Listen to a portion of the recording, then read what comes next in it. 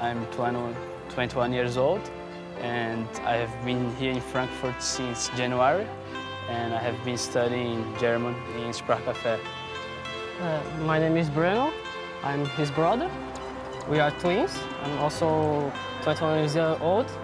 I also have been here since January and I'm also taking a German course here. Frankfurt, we have people and students from all over the world. Like um, most of them are from Japan, from uh, South America, from Spain, from Eastern Europe. Our school in Frankfurt is very intercultural. We have classes for every, uh, for every levels. Um, the classes are structured according to the European um, reference framework. So we work with um, different levels. Uh, we start with A0, which is the lowest level, and then our high, highest level is C1. Accusative, dative, genitive und so weiter. Ist sehr, sehr kompliziert. Und Präpositionen und die, Artikel. Adjektiven. Die Artikel auch. Okay, let's talk about football. No. Deutschland gestern gesehen? 4 zu 1. Ähm, ja. Was ist das Wichtigste in der deutschen Sprache? Was ist das Wichtigste? Was ist das Schwerste? Was ist das Schwerste in Deutschland? Was ist das Schwerste? Die Deutschsprache? Mit der deutschen Sprache? Was ist das, was ihr wissen müsst, was ihr lernen müsst? Position. Jawohl. Und es sind die, sehr gut, die Artikel. Welche Artikel haben wir denn? What do we do with the German language here at Sprachcaffe in Frankfurt? We learn German in some different steps, from absolute beginners to a professional level.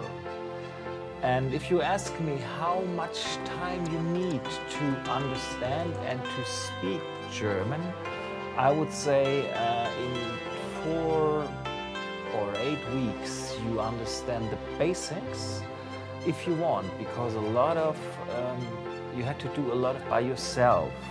So we give you we give you uh, some roots, we give you some rules here to learn German, but you have to do a lot by yourself. And um, with this, our material, um, it can go very fast. Äh, nennt mir mal den Artikel von Mann. Jawohl. Von Frau. Von Auto. Käse. Der. Der. Und Artikel von Haus. Sehr gut.